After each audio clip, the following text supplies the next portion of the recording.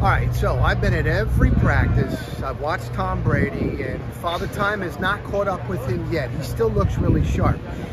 As he says now, like he's always said, it's a different year. Yeah, you got the same offense. He's got Byron Leftwich in his year calling plays.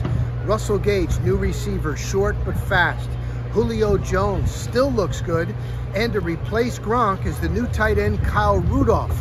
But they got to get on the same page, so it's going to take a little while all in all, Brady looks like he is all in once again.